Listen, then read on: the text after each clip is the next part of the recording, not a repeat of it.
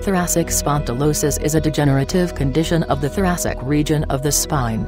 This pathological condition can include facet joint osteoarthritis, formation of bone spurs, or disc herniation.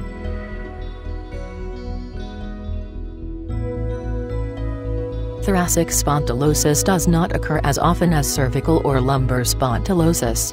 Commonly, it happens in people over the age of 50.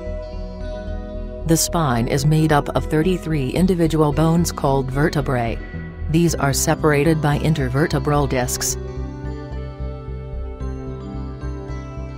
The thoracic region of the spine is made up of 12 vertebrae, which are designated as T1 through T12. The thoracic vertebrae are joined by ribs to form your rib cage.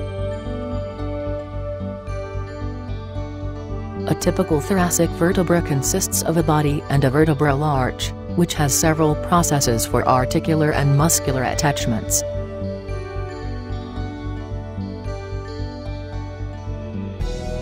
Facet joints are located between each pair of thoracic vertebrae.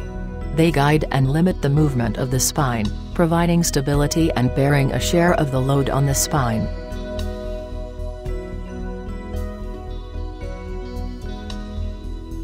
The intervertebral discs between the vertebrae and the thoracic region of the spine are not as thick as those found in other spinal regions, but they act like shock absorbers,